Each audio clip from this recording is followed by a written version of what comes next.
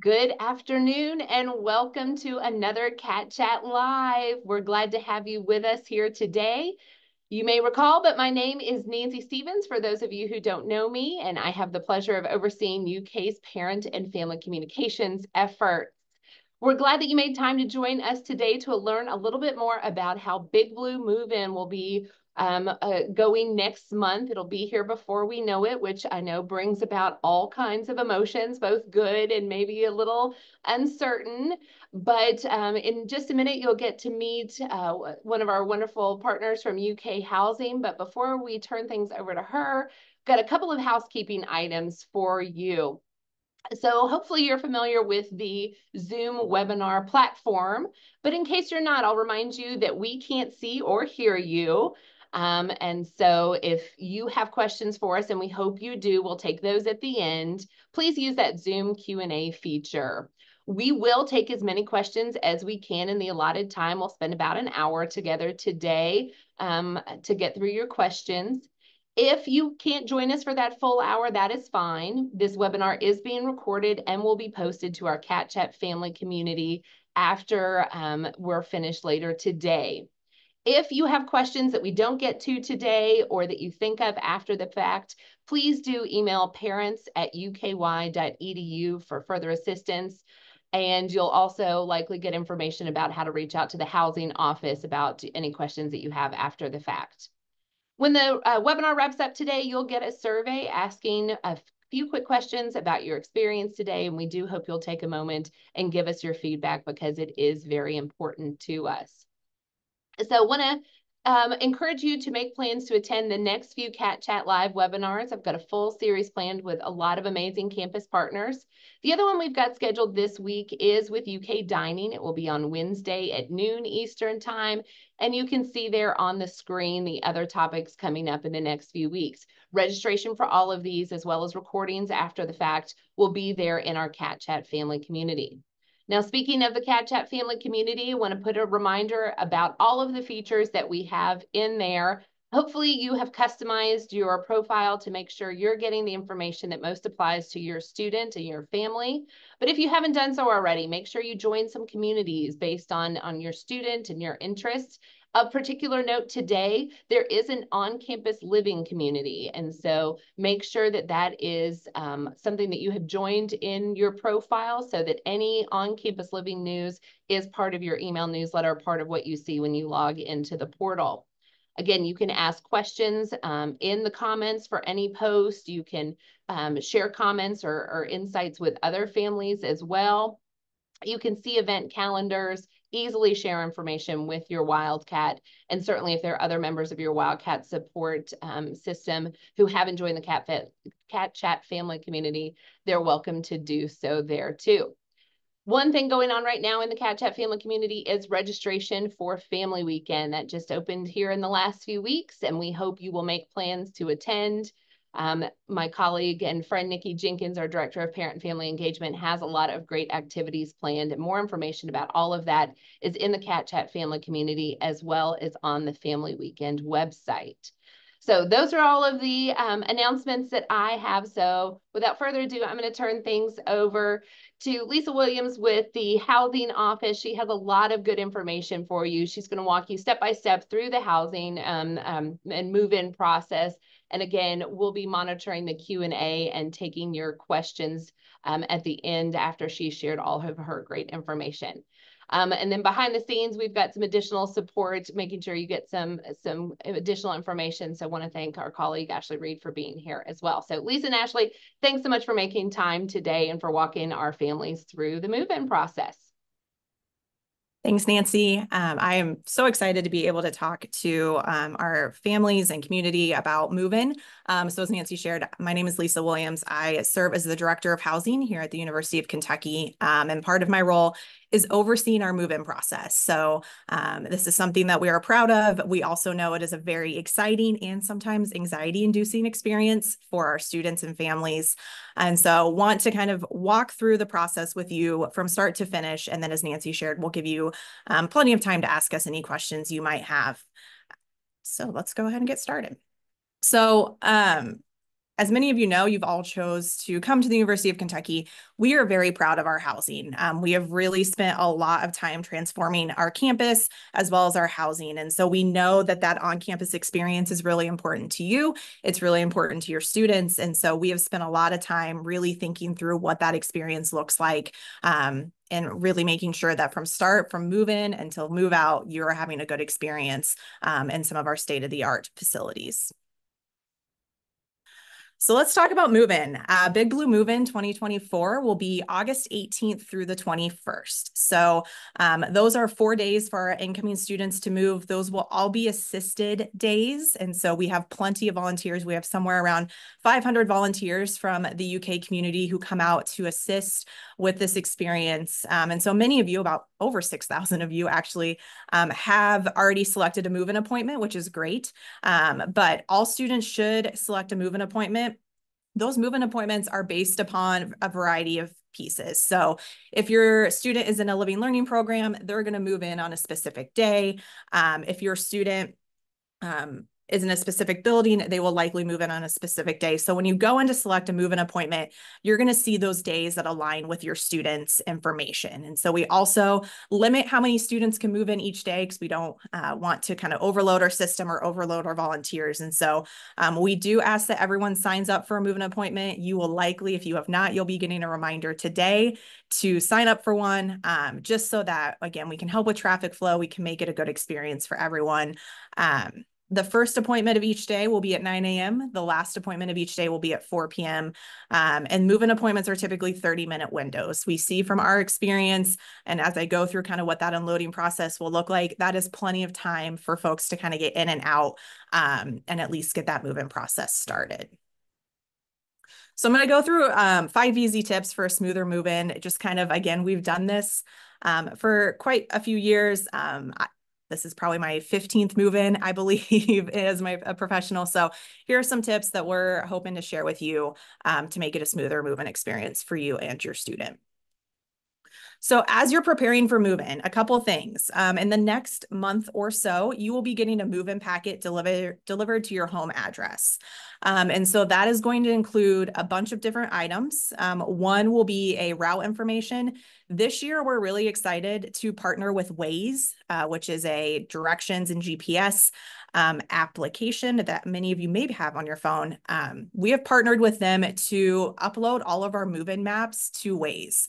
So when you get your move-in packet, you will get um, a specific hall code card with a QR code that you can click on and it'll automatically open up either the Waze app or prompt you to download the Waze app. And that will show you how to get from your current location to the unloading location for your uh, student's residence hall. Um, so that is an option for families uh, and students to use. Again, we're really excited about that. That's going to give you a lot of detail. Um, the traffic flow during move-in looks different than if you've been to UK before. And so that Waze app will tell you what roads are closed and get you from point A to point B.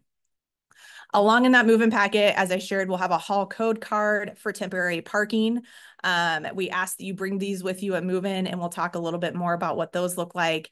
And then it's instructions for printing additional parking passes if needed. So we know sometimes folks have multiple cars or a student has a car and a parent has a car. So we'll give you instructions on how to print out multiple parking passes for the move-in experience.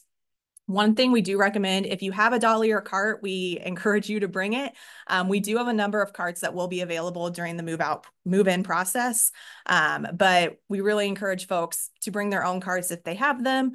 Um, and then we encourage students who live within three hours of Lexington to maybe only bring the essentials. And so, you know, that first couple of months of school, it is going to be a little bit on the warmer side. Um, and so we encourage them to kind of think through your wardrobe and all of those pieces, um, as well as think through what you truly need to kind of uh, have the living experience you want. So as I shared, when you're driving to campus, you're want to make sure you're following your building specific route map and posted signage. Again, that Waze app um, is going to be super helpful for you in terms of getting you to your exact unloading zone. Um, we will have traffic controllers throughout the move-in process. So as soon as you get to campus, you will start to see um, UKPD, various police departments out, as well as some of our traffic controllers and out in the streets. They will be there to kind of get you to where you need to go, um, as well as kind of share any information. So they will be looking at that hall code card and saying, okay, Ball Hall, you're going to move this way. Here's what lane we need you in. Um, and they'll get you to those unloading zones. Um, and so just make sure one that you're paying attention to signage um, but also paying attention um, if folks are in the street asking you to kind of roll down your window they're really just trying to get you to where you need to go um, as quickly as possible once you get to the loading area, you will see that we will have tables and carts lined up along the road. Um, essentially, as soon as you pull up, um, we will have volunteers out there available who will be helping you to unload all your belongings onto a provided table or into a provided cart. Um, and so they'll really pull up, they'll kind of activate and help you get unloaded and get everything where they need to go. And then again, that is the point where we um, are going to ask a couple things. Um, we ask that someone, uh, once a vehicle is unloaded, that you move it to a designated parking area. And so um, for North Campus, we have parking available in our Cornerstone Garage. For Central and South Campus, we have parking over at Kroger Field. We will have shuttles going throughout the day to get you from point A to point B. But once your vehicle is unloaded, we will ask you to move your vehicle um, to the designated parking area for your location. And again, we will have um, a QR code for you to screenshot that will get you out to that next location. Um, one thing we do ask is never leave a vehicle unattended in loading zones. Um, we will, on the hall code card, you will see that there's a point to put in your cell phone number. We will call you uh, just to kind of be like, hey, we need you to come get your car. And again, we're really just trying to make sure that that traffic flow um, and move in is going as efficiently as possible while also providing a good experience for you all. And then once you are going through the unloading process, your student will actually be going into the residence hall to check in. So typically when you pull up to the unloading zone, um, parents and support persons will help unload. We will send the student inside and get them checked in. So they will go into the front hall. Um, you will need your student ID. If you're using a mobile ID, that will also work. Um, we will scan that that will start the check-in process. Students will get their keys, um, anything else, as well as some additional items. And so at that point, then typically students will come back out, um, get their belongings, and then start to go up uh, and start the move-in process. So um, that is kind of our piece. Student gets the key. Then again, the belongings are starting to be moved in. Um, so depending on how many individuals you have, again, we're going to want someone to remain with that car and move it. Um, and then you all can proceed up to the room to assist uh, the student in getting that pulled together. So just to kind of overview, again, step one, really, um, one of the pieces we do recommend is pack in plastic containers. That's just helpful to kind of see, but also uh, weather in Kentucky in August can vary. Um, and so we do typically, for whatever reason, do have one rainy day during the move-in experience. Um, and so that's just something to kind of keep your belongings safe um, and dry. And again, if you have a dolly or a cart, we really encourage you to bring them. We will have plenty. Um, this year, we will have a good number of kind of really large blue bins that you can't miss um, that will hopefully help with you getting stuff loaded into those. So we will have carts available, but again, never hurts for you to bring one. Um, the Waze app will provide you with all of your route information, um, but it, you will also have instructions in the move-in packet. Um, we do again ask, make sure that hall code card is hanging. So when you get it in the move-in packet, you will see there's a space for it to hang on your rear view mirror. Again, this really just helps our traffic controllers get you to where you need to go sooner, um, but also helps us kind of manage traffic um, once you're in the unloading zone as well and making sure that you're in the correct location. Um, and please arrive during your 30 minute appointment window. So we um, have those 30 minute appointments kind of structured based upon how much assistance we have. Um, and again, traffic control. And so we really um, ask that you try to aim to be in that 30 minute window. We know things happen, um, but we ask that you really try to focus on getting there. If you're a 9 a.m. appointment, you're there at 9 a.m. and we will be there to assist you making sure that we're just following directions from staff um, and unloading belongings onto one table. And then again, moving that car to the designated parking area. Um, and again, we will have shuttles that will go throughout the move-in experience to take you from um, wherever you parked to the residence halls. So I've referenced this a couple times. This is the hall code card. So you'll see this is the hall code card for Ball Hall.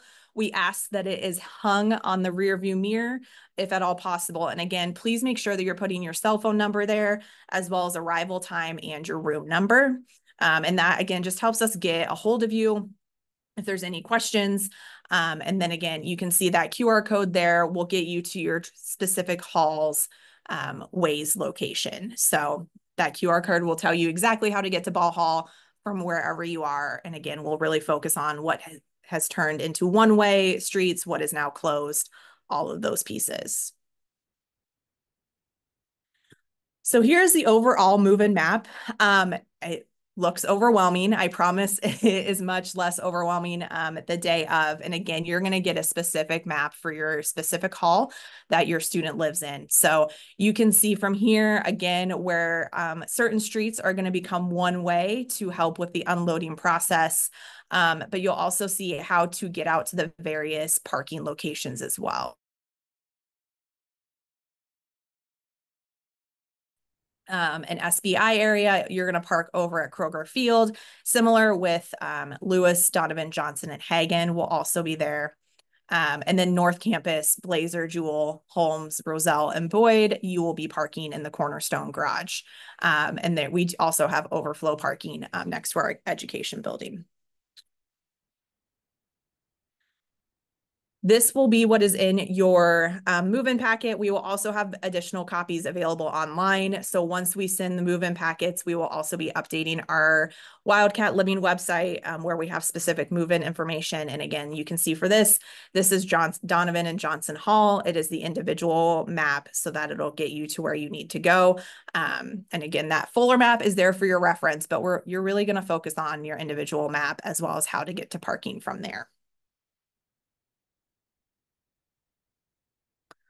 So some quick reminders. Um, again, students who live within three hours of, of Lexington, we're really encouraging you, you to only bring the essentials or kind of whatever you um, need for these first couple months or however long your student is planning to kind of stay once they arrive.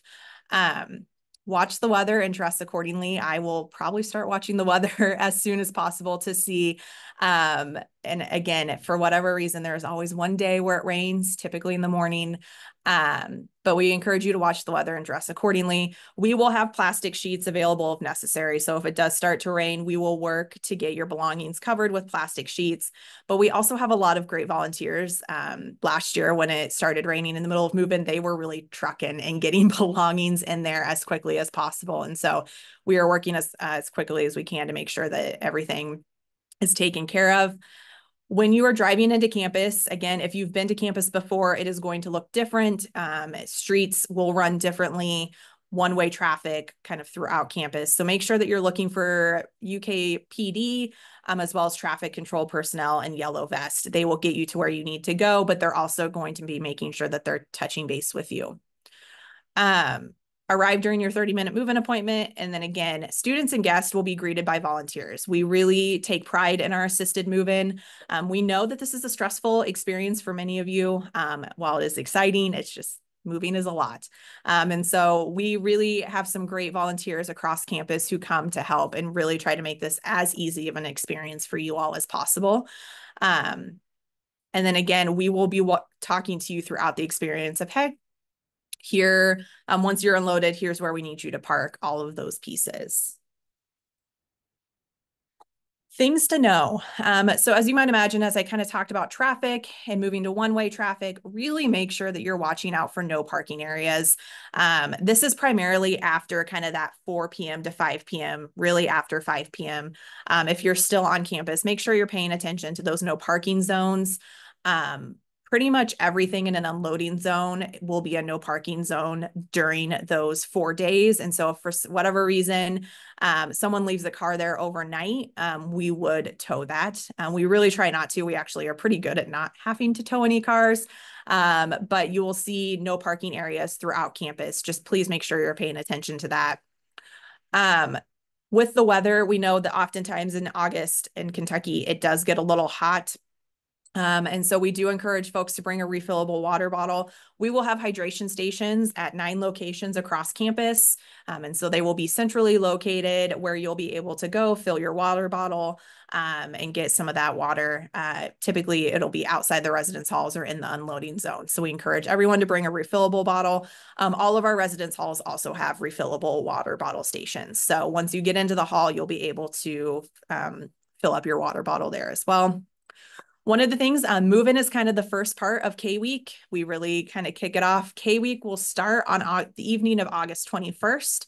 Um, and so this is the second step in the orientation process. Um, it is a really critical experience for our incoming students. And so all new students are expected to attend. Um, your K crew leaders and your RAs will help get you to kind of where you need to go throughout that experience. Um, but that will start that Wednesday, August 21st dining plans. I know Nancy mentioned you'll be talking to UK Dining on Wednesday. Um, all dining plans will start on August 18th. So uh, the first day of move-in is the first day the dining plan is activated. Um, and so that will be uh, available for you um, as students and families as well. Uh, this is my what not to bring and what to bring. So this uh, what to bring is the linen sizes across campus. So one of the pieces, this QR code here also goes to our Wildcat Living website. That really goes over everything that you can bring um, to your residence hall or what we recommend um, you bring. I know um, current students will have a lot of guidance of here's what I should have brought, here's what I didn't bring. Um, but you'll see linen sizes here in terms of twin XL and full XL. All of our room types have memory foam mattresses. Um, it just depends on the size one thing, some of those big ticket items, so a television um, or other big items, we encourage your student to talk to their roommate or roommates about what they are planning to bring, um, just so that you don't have duplicates of that as well. But again, that QR code and the link down below will give you a full list of um, what to bring with you to campus or what we recommend that you bring to you with you to campus.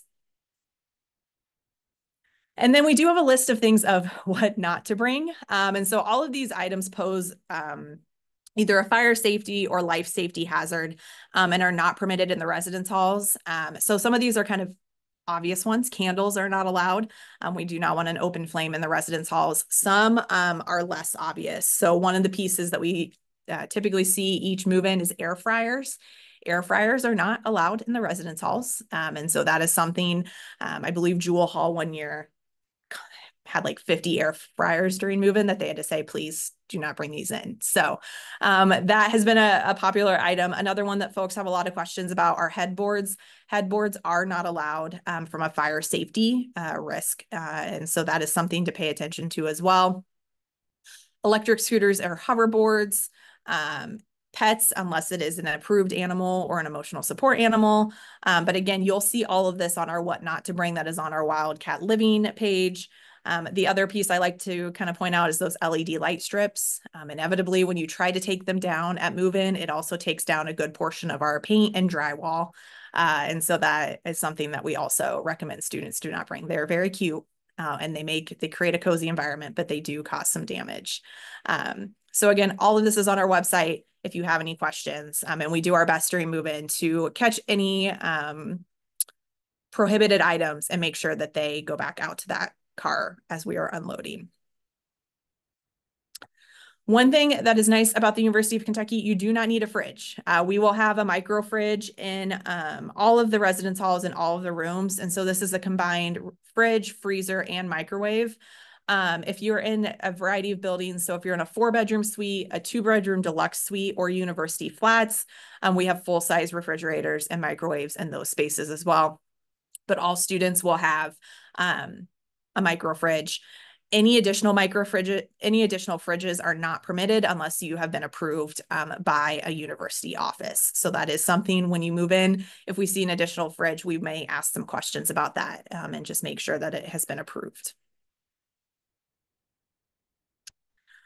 One thing during the move-in period, we um, typically allow 24-7 visitation in our residence halls. During the move-in period, we do lock that down a little bit just to kind of make sure um, one, that your student is getting settled. Um, there will be a lot of things happening during the evening hours, whether it's RAs reaching out to them to kind of get to know them, as well as if they're in an LLP, there will be programming in the evenings. And so no visitation is allowed uh, that Sunday, August 18th through Wednesday, August 21st.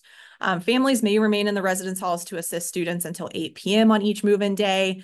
Um, and again, that is because we're really trying to find ways to get your student engaged in the community and really start that um, with some programming and some one-on-one conversations and making sure that they're getting settled.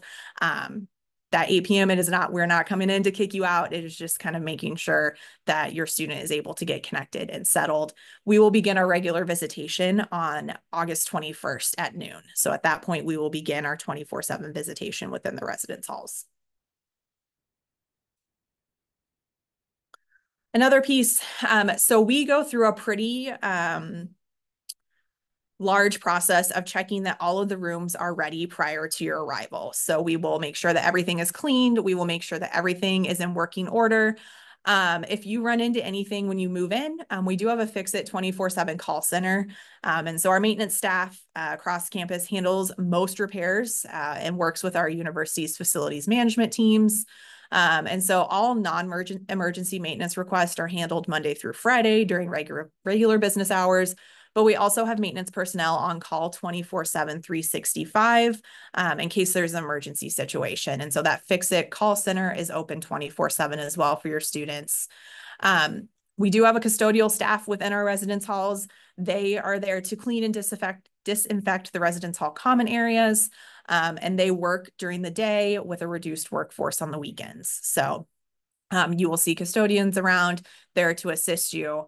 Um, if you have any issues in your room, if there's something that you um, that is broken or something that needs attention, we're always here to help. So again, you can submit a request um, on our website on our fix it form, um, but you can also always call the fix it 24 7 call center in case there's an issue. And that's another thing we find a lot of our students will go to their RAs first and say, Hey, I'm having this issue, um, and they will get you to where you need to go.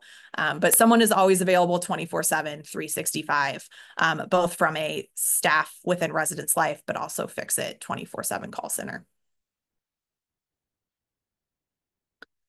So I ran through that uh, pretty pretty quickly, uh, but I say again, and we wanted to save a good number, um, good amount of time for any questions that you all have. So Nancy, I'll turn it back over to you uh, to kind of guide us through the questions. All right. Yep. Thank you, Lisa, for going through all of those slides and providing an overview of the process. We do have a lot of questions that have come in as you've been talking. And so we'll take as many of those as we possibly can, but we'll start um, back at the beginning when you were talking about move-in appointments. So we've got an out-of-state family. Um, they, because of the distance, I'm assuming it would be easier for them to work, uh, move in on a weekend. They're hoping they can maybe change and have sent a request. If folks need to adjust their move-in appointment, what options do they have? Yeah, if students um, and families need to move, change their move-in appointments, um, there's a couple different options. There is the move-in exception request. Um, so similar to where your student uh, selected their move-in appointment, there is a link to a move-in request, move-in exception request form. Um, so you can do that. You can also just email UK Housing at uky.edu. Um, and share the information. And we will, we have a group who are reviewing those move-in exception requests on a daily basis. And so we try to get back to you within um, a week, but oftentimes we're getting back to you within a couple days. So if you can email either UK housing at uky.edu or have your student go back to their My Forms on the housing portal where they selected their move-in appointment and they can complete that exception request form. All right. Um, speaking of distance, this is even uh, farther than out of state. The question is, do our international students need to select a move-in appointment? They do not. So international students do not select a move-in appointment. Our colleagues in the International Center um, are going to be reaching out to you about when they need international students to arrive.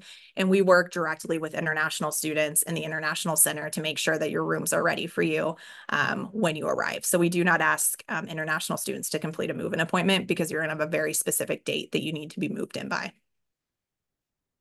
All right. Our, so our next question is, they know when their move-in appointment is, or their student's move-in appointment is, but they're trying to decide how much time they should allow to like kind of get in the line. So um, trying to figure out how traffic flow is working. If they're staying in a hotel that's about 10 minutes away, like what time should they leave the hotel to arrive for their move-in appointment? I see, I've seen questions like this over the years um, in Facebook groups and so on. Yeah, trying to figure out when to start the process prior to the move-in appointment. I would say probably, and Nancy, I mean, you have seen this question come up. I would say 30 to 45 minutes. Um, once you get into the line, it's actually pretty quick because we're moving you as quickly as possible. Um, it's kind of like air traffic control a little bit. In the mornings, it's a little bit quicker than it gets um, in the afternoons just because things might get backed up. So um, I would say 30 to 45 minutes. Again, campus is really, we try to limit all campus traffic to just move in related traffic as much as possible. Um, and so that is something to pay attention to. Um, I will say if we also, things to consider is uh, I believe Fayette County schools will be back in session when we're moving in. So that will create a little bit more traffic in the mornings as well. Um, but I would suggest 30 to 45 minutes. Um, but I would also throw it into the Waze app and it's going to tell you how long it's going to take you as well. So that is another kind of perk of them being able to let you know, oh, it's going to take a little bit longer. Yeah, I think that Waze app um, is going to be a, a, good collaboration and helpful for folks as they're making plans. Got a, a question asking if elevators are available in all of the halls for move-in. Elevators are available in all of our residence halls. Um, we yes, we will have staff who are managing those elevators, um, but they will be available throughout move-in. Um, we have multiple elevators um, in many of our residence halls. Um, and so that hopefully will continue to run smoothly. Um, and again, we'll have staff there who are actually operating the elevators throughout the day, uh, which makes the process move pretty quickly. All right, great. So as soon as you mentioned that students would need um, their ID card when they check in at the residence halls, got a lot of questions about IDs. And so I've put the wildcard ID office in the chat for folks. Um, you all, all, may know a little bit more um, than I do at this point. At this point, I know that our, our friends in the wildcard ID office are transitioning to mobile IDs, and there's going uh, to be more information sending um, going out to students about that. But the question that came in um, that I wanted to, to see if you had any additional information about is if we arrive for move in on Saturday, but the ID office is normally open Monday through Friday, how will students get their IDs? Are they going to have Saturday hours for move in? if they if students get a printed id and they have not picked it up yet those will actually be at the residence hall when they check in um, so we work with the wildcard id office for any printed ids um, that have not been picked up they move they basically give them to us prior to move in. And so they will be there um, when you check in. If for whatever reason they are not there, we will work with you to set up a temp ID um, and get you to where you need to go. We are really encouraging um, students to use the mobile ID. Um, it is just, it is super helpful. It will work on their front door. It will work for all access needs and housing as well. So we encourage them to do that. But if they did get a printed ID that they have not picked up yet, those will be in the residence halls for them when they check in this may not be a question that you know the answer to because um, the the wildcard ID office may be the experts here, but it the question just came in and said mobile IDs are not accepted everywhere. Is that correct? That's why we're getting a, I guess, the physical ID. That will be a, a good question for the wildcard ID office. From a housing perspective, we do um, are set up to accept the mobile ID at all of our locations. So at our front desks, we will for this academic year be ready to accept those. Um, and again, your students' access to the residence halls are also um, available through the mobile ID as well. Our next question is, do we know what time K-Week starts on the 21st? I have not seen an exact time. At least I don't know if you have, but it typically starts after dinner that night. It does. So traditionally, one of the pieces, and I know, I believe Justin Blevins, who is our director of residence life, will be coming in a couple weeks to talk about life in the halls. Um, typically that evening, the RAs will do a community meeting. Um, usually that's around 7 p.m., 8 7.30 p.m. It has changed uh, kind of year to year.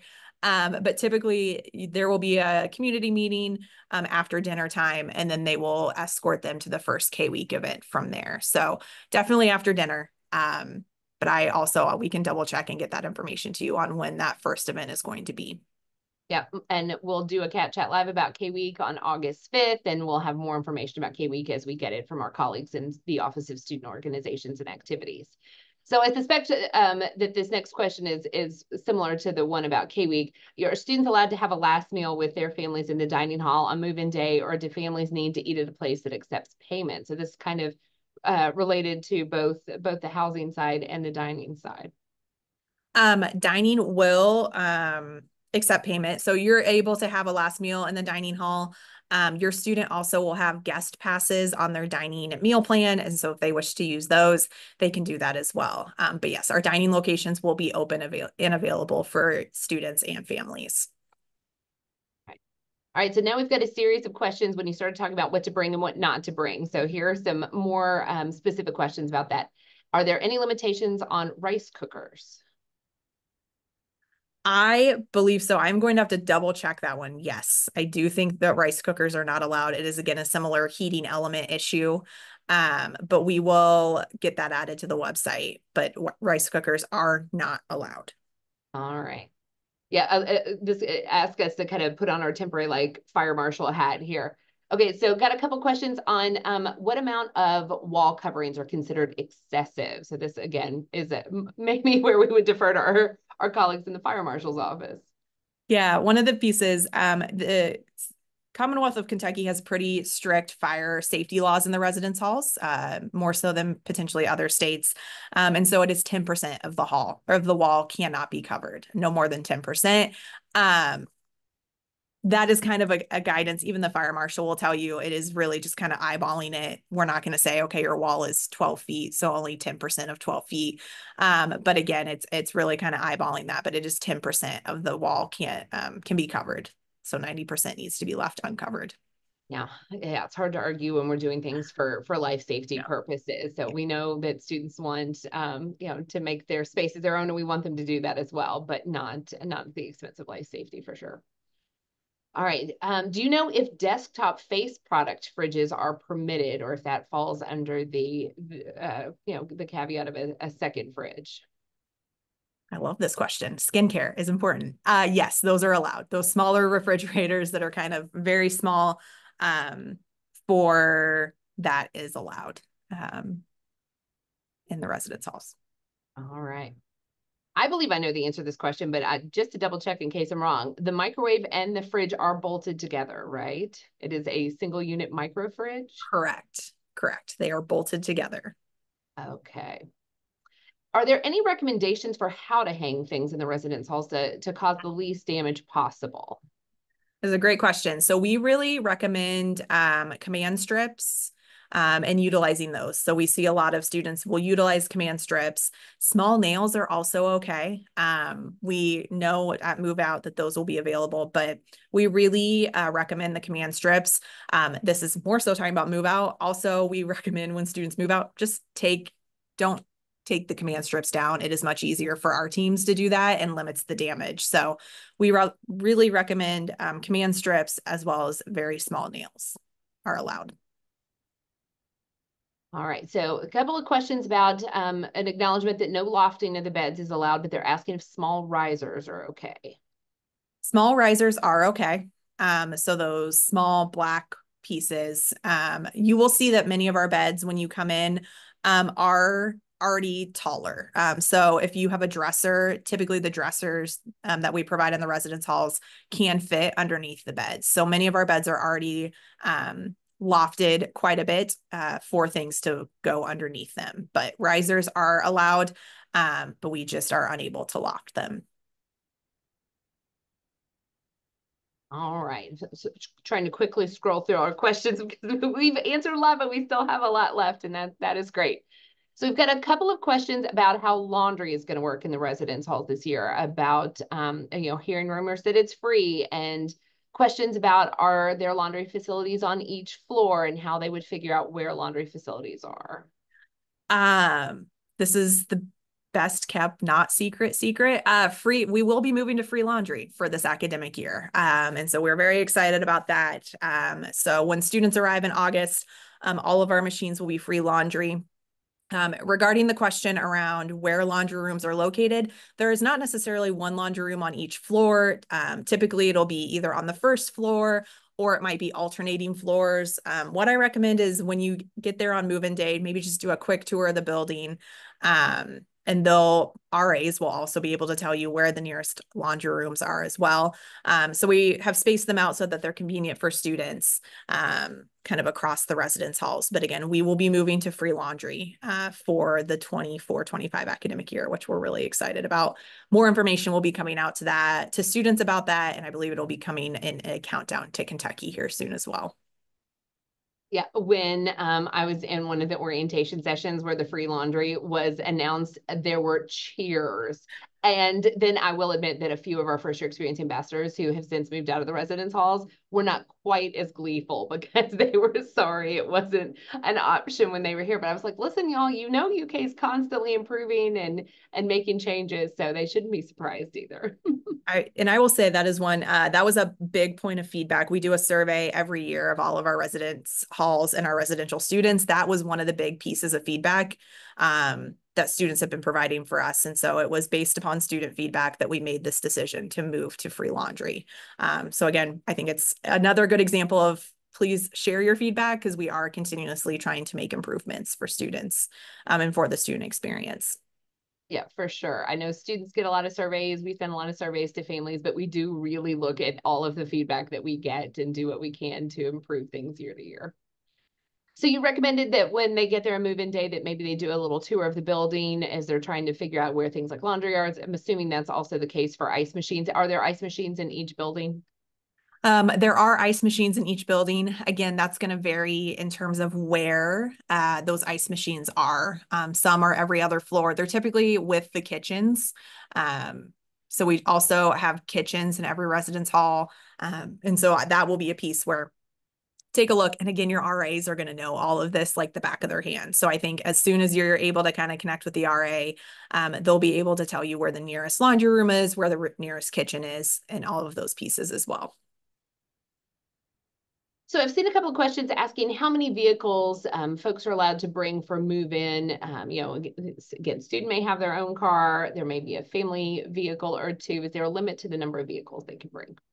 There is not a limit to the number of vehicles um, you can bring. Again, you're just going to want to make sure that you have enough temporary parking passes for each vehicle's vehicle. If your student is keeping their vehicle with them, they'll want to make sure that they have their UK parking pass. And again, I think UK Transportation Services is coming in a maybe next week to kind of chat with you all. So if it's a student vehicle, they're going to want to make sure that they have um, their parking pass. But again, um, temporary parking passes just make sure that you have enough and make sure again that as you're going through the move-in process and unloading that we're moving all of those vehicles um, as soon as possible and again we will work with you to kind of make sure that that's happening within that 30 minute window so what if they have two cars and only two people for move-in? Um, you know, obviously they'll need to move their cars out of their their curbside spot, the unloading zone. Mm-hmm. Um, but then if somebody needs to stay with their belongings, how do they handle that? Yeah, that will be something where we'll probably get one car out. Um, typically, this will happen if a, a, parent and a student are moving in. So we might have that student once they get everything up into the room, um, then we'll have them go and move the car. And again, unloading to kind of unloading outside to unloading in the room is typically within 30 minutes. Um, and so we'll work with you. Um, we'll at, at, least ask one of those cars to move, um, and then we'll work with the student to kind of get them moved whenever their belongings are in their room. So it, for the unloading and getting things up to the room process, do they need to label all of the boxes and containers that they're bringing in? I think that's a great idea. If you um, can, I think that is super helpful for the volunteers. Um, again, the student or someone will typically with the BB will be with the belongings at all time, but I think if you can put um, Williams ball 323 on it, I think that certainly helps us make sure um, that it is getting to the correct place. Um, and it's also just helpful for everyone involved. So I we I will probably add that to my tips for next year because that is a great idea. And so to clarify, the volunteers do help bring things up to the rooms and not just unload from the car onto the tables, right? Yeah, volunteers will typically help bring things up to the room. It's really, they will kind of follow your lead. If you're like, I'm good, I don't need any help, they will just get you unloaded and moving in the right direction. But they typically will um, assist in getting thing, everything up to the room, unloaded, and then they will come back down. All right. Are they allowed to hang TVs on the wall? We do not recommend hanging TVs on the wall from a um, that is just a large amount of screws, a large amount of those pieces. So we do not recommend students hanging TVs on the wall. Um, yes, we do not re recommend. Uh, I'm seeing some comments that say yes on the free laundry, things like that. And I've never felt more popular than when I've been able to say that a couple times. So uh, um, so here's a question about it says, are TV hookups in each bedroom or in the common space or both? So that is a good question. Um, one of the pieces along with free laundry, and I should I apologize, I should have mentioned this with free laundry. We um, are moving to streaming in the individual bedrooms. So we are working, um, there will not be cable in the individual bedrooms. We will still have cable in the common areas, but we are also working to provide a streaming service um, for students as well. So more information will be provided when we kind of do the formal rollout. Um, but we were already seeing that students were using streaming. They're using Netflix, they're using Hulu, all those other pieces. Um, they were not using our cable services that much. So um, we will be moving to streaming. We went through a large wireless upgrade in our residence halls last summer. So we have the capability to support all that streaming um, and again, you'll get some additional information about kind of streaming options um, when we send out an email to students about the free vend for laundry. Right, sounds good. So we've got a couple of questions asking about the room swap process. A couple of people have put in for room swap but haven't heard anything back and are just curious about the timeline. So we are continuing to work through the room swap process this week and then through part of next week. So we anticipate that the room swap process will be wrapped up by mid next week. Um, as you imagine, the room swap process is a little bit of kind of dominoes falling. So once we move someone, then we can move someone else. Um, so our housing assignments team is working on that pretty diligently um, last week and this week. So we will be communicating with anyone who completed a room swap um, mid next week, letting them know either we were able to accommodate or we were not able to accommodate. The other piece, we do a room swap period as well, a couple weeks after the semester begins. So that is something, if maybe you did not get a room swap um, this summer, we do provide an additional opportunity for students to swap um, both in the fall semester and in the spring semester. So that will be an additional option. And your student can talk to their residence life staff about that um, if that is something they are interested in. Here's a good question. How long do you recommend that parents and families stay on campus on move-in day? I think that's really up to the individual parent and family. Um, if you're like my parents, you really just dropped me off and you left. Uh, and we're like, good luck. Um, and that was really, it's up to you. Um, we will see parents and families that stay kind of right up into or a little bit past that 8 p.m. Time. Um, you'll see parents who leave pretty quickly after they're unloaded. Um, it's really a conversation between you and your student. Um, I do think there is some, it's nice to kind of grab that dinner or grab that last meal. Um, but again, that's really going to be a personal piece um, for you to kind of work through with your student on what makes the most sense for you as a group.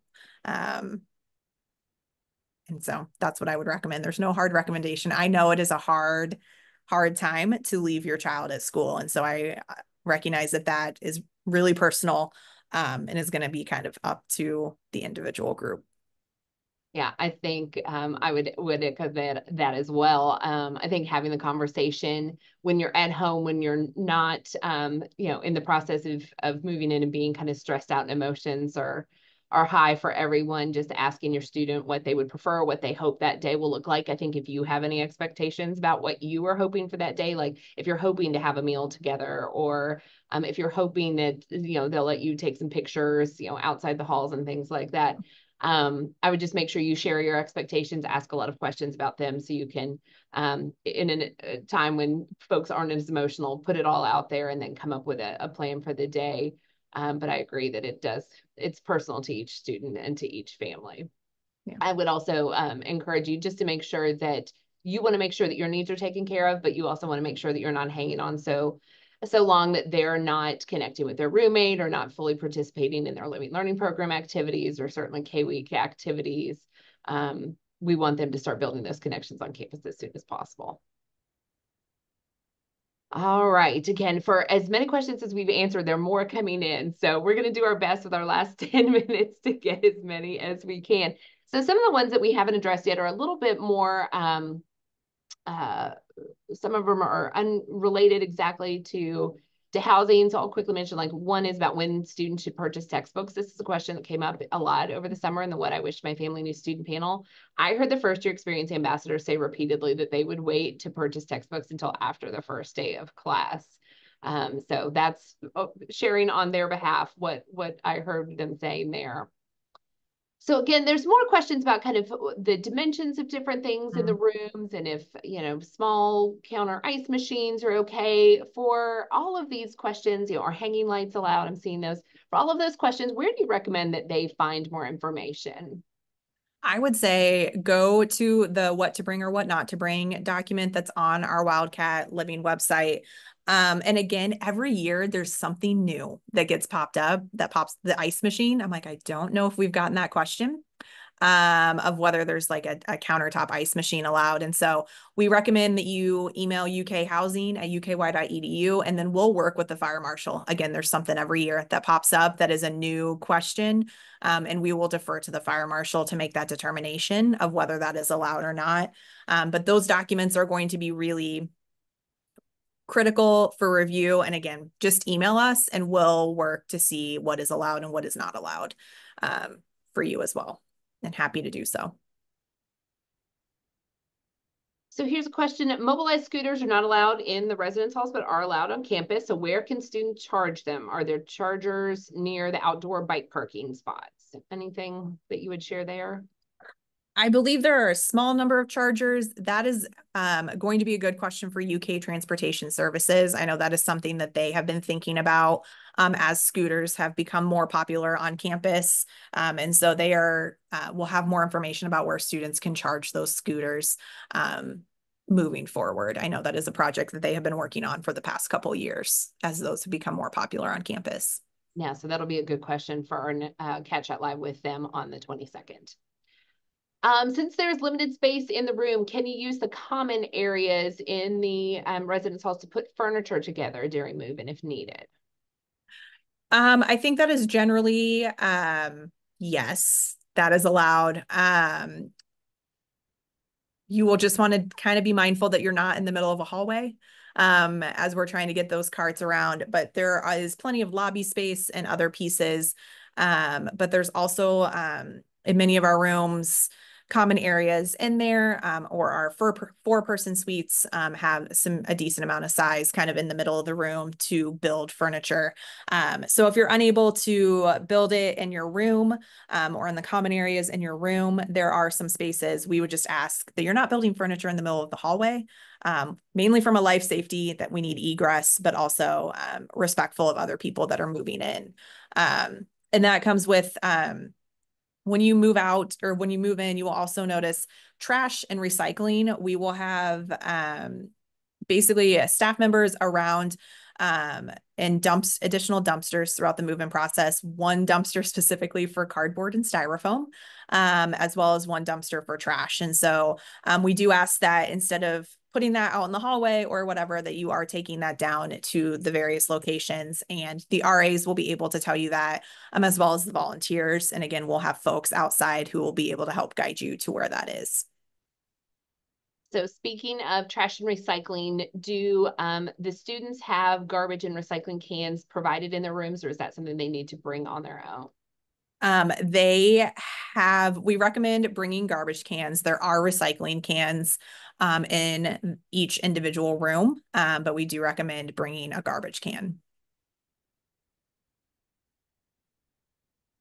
So got a couple questions about Wi-Fi. Do students need ethernet cables or is Wi-Fi reliable? Do they only use Wi-Fi for all of their needs? Um, so if you could speak a little bit to that, that'd be great. Yeah. Um, we do have Ethernet ports that are available in the residence halls. They are live and working. We see a small number of our students actually use those Ethernet ports. Um, the Wi-Fi is really reliable. So again, we did a pretty extensive upgrade in the summer of 2023 um, to our Wi-Fi network across all of our residence halls. And so um, we saw very limited issues this academic year uh, with Wi-Fi in the residence halls. And so it is pretty consistent. It is pretty reliable. But again, um, it never hurts to bring an Ethernet cord because we do have those ports that are um, available in the residence halls. Um, and we do, again, still see students that are using them pretty consistently. Helpful. Do the bathrooms get cleaned regularly or is that entirely up to the students? That is entirely up to the students. So um, everything will be clean when you move in. Um, and so we will do extensive cleaning. We have been doing extensive cleaning throughout the summer. We will do another round um, prior to move in. Um, but our custodial staff do not clean those private bathrooms. Um, and so that is something when your student is talking to their roommates, uh, oftentimes that's a conversation that we will have during the roommate agreement process in terms of cleanliness, how often we want to clean the bathrooms, so on and so forth. So students are responsible to do that uh, throughout the academic year. Ooh, so they've got about, I mean, move-in uh, is a month away or so. I feel like this is a good time for you to tell your student that they can practice and you can uh, get them to clean your bathrooms at home because you're just trying to help them figure out how to live on their own in the residence halls this fall. Hey, if you can get them to clean your bathroom, so much the better. Then bathrooms and laundry. If they don't know how to do laundry, please teach them how to do laundry. Yeah, for sure. Do you see any um, issues with laundry in the residence halls, things where students weren't, weren't prepared to do it on their own? We do. Typically at the beginning of the year, we will see um, maybe putting too much detergent in. Um, we really recommend those pods, uh, although we have had students that have put in multiple pods for one load of laundry. Um, and then we do see some students that will overload our dryers. Um, and so we're hoping with free vend, they don't feel the need to get everything into one load, um, that they can do it in multiple loads. Um, but we do see that. So I think those are some big pieces of just making sure that we're putting in the correct amount of detergent, um, but also not stuffing everything we own into the dryer if possible. Yeah, there was a question about could comforters fit in the um, washing washing machines in the halls? They uh, we do not recommend putting those in the dryer. And then, yeah, here's a, a, question. I've seen, I feel like I've heard um, multiple takes on the pods. That some people say that they're great because you don't have to measure them, but then other people saying that they don't, um, you know, kind of disintegrate all the way. And so, yeah, the last question came in: Is the water pressure sufficient to dissolve the the pods? These are some good questions. Um, our laundry vendor recommends the pods. Um, so the individuals that kind of work on our laundry machines, particularly our washers day in and day out, water pressure is fine. We have not seen any issues with pods um, not completely dissolving. So, um, but I will double check that with our laundry vendor and also provide that information out um, to you all as well. So here's a logistics question getting back to the move-in day. It says we may run out to the store during the day for some essentials we're mm-hmm. choosing not to pack from home. Um, how do you do that uh, for unloading? Do you have to wait until after the move-in appointments are done for the day to get back in the line? You don't. So you can come back into the line at any point. Um, we will see that particularly in the afternoons. We will start to see people who have done a Target run or a Kroger run that will come back in. Again, we're just going to ask that you are um, probably dropping off those items as quickly as possible and then moving your car again. Um, but we will see fam- parents and families come back through after doing kind of an initial run um, to whatever store they might be. So you're still allowed to come back through. Um, but we just ask that you're making sure that you're getting that car to where it needs to go pretty quickly so that we can get everyone moved in. And we're getting close on time. We'll try to squeeze in a couple more questions. So you mentioned that there are kitchens in the residence halls. There's been some questions about what's available to the students in those kitchens. Mm. So um, it is a full kitchen. So there is um, stoves, ovens, all of those pieces. Um, typically, each residence hall front desk will have kitchen items for students to check out. So they will have pots, pans, cooking utensils, all of those pieces. We also will see students that will bring their own set of pots and pans if that is what they choose to do. Um, and if they anticipate that they would like to be use, utilizing those kitchens a little bit more. Um, but we will have cooking utensils, everything you need um, down at the front desk for you to check out. Um, but again, you can also bring bring your own items as well. And then this question falls along with the, the kitchen question. With food in the dorms, have there been issues in the past with ants or any other unwanted friends? There have not. Um, our I will say our custodial staff do a really good job of cleaning the kitchens uh, every day. So they will be kind of monitoring what is in the fridge, what needs to get thrown away. Um, if food is left out in the kitchen, uh, they will typically take care of it. Um, so our custodial teams do a great job of keeping those common areas good to go um, and making sure that food and all those pieces are taken care of and disposed of properly. All right. Um, so, and to clarify, the hall staff or the janitorial staff is there for those common areas. The um, there are common bathrooms in the the halls as well. There was a question about what do you do if your roommate's in the bathroom and you need it. There are common bathrooms uh, in the residence halls as well. So there is generally um, at least two, if not more, in the each residence hall. So again, and the custodial staff will clean those common bathrooms daily. Um, so they are really doing all of the common spaces throughout the residence hall on a daily basis. And are vacuum cleaners available for use, or do um, students need to bring their own? Um, I would recommend students bring their own. There are occasionally vacuums at the front desk. It is not consistent at all the residence halls. Um, because honestly, sometimes those vacuums get beat up pretty quickly. Um, so we do recommend that students bring their own vacuum. Um, and there is, again, occasionally a vacuum available at the front desk, but that is not consistent at all of the halls. All right, and again, for figuring out where, um, which floors have the laundry and the kitchen and all that, you recommend a, a walkthrough on move-in day? Yep. yep. Yeah. And again, talk to your RA. Your RA um, will probably start sending out information to your student within the next couple weeks. So I would also, typically that is also included in the individual kind of hall information that they will provide as well.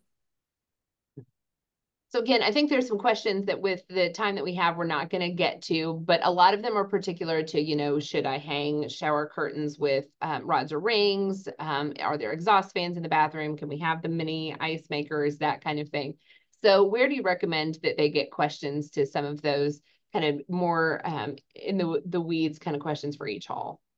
Um, there are, well, I'm assuming we're talking about shower curtains for the actual bathroom. Um, there are shower curtains provided. Um, students can also bring their own, but there is a rod already hanging up in the bathroom. Um, for kind of these specific questions, I'd recommend again emailing UK Housing at uky.edu. Um, I know the housing assignments team I was talking to them last week. They're getting a lot of kind of specific questions about measurements and some of those pieces, and so they're doing their best to answer all of those. But that is who I would ref, um, recommend reaching out to and we will get um, that information to the correct individuals whether that be the fire marshal um, or um, we will work to get you some of those measurements as well all right. Well, uh, this felt like, um, you know, putting Lisa on uh, uh, notice, like, do you know every single thing about everything single hall? But you did a great job answering all the questions and walking folks through the move-in process. And um, for those of you whose questions we didn't get to live, apologies. They were were coming in fast and furious, and we love um, all of the enthusiasm. So if we didn't get to your question, please do use the contact information on the screen to reach out to, to housing and residence life. And certainly anytime you email parents at uky.edu, we start connecting with our wonderful campus partners to get you the information you need. So um, keep those questions coming, even if we didn't have time for them live, and we'll make sure you get the information you need. So we hope to see many of you on Wednesday at noon Eastern time for a conversation with UK Dining. They'll be walking through meal plans and um, particular dietary and, and allergy needs and all of that good stuff. And so you can register for that through the Cat Chat family community. And as I mentioned at the beginning of this webinar, we'll be taking today's recording and putting it in the Cat Chat family community either later this afternoon or tomorrow morning so that you can go back and view anything you may have missed or you can share it with others who may be interested. But Lisa, thank you so much for sharing all of this great information um, with everybody. Ashley, thanks for being behind the scenes, answering a few questions as well. Families, thank you so much for joining us. We hope this was helpful and we hope to see you again soon for another Cat Chat Live. Thanks so much.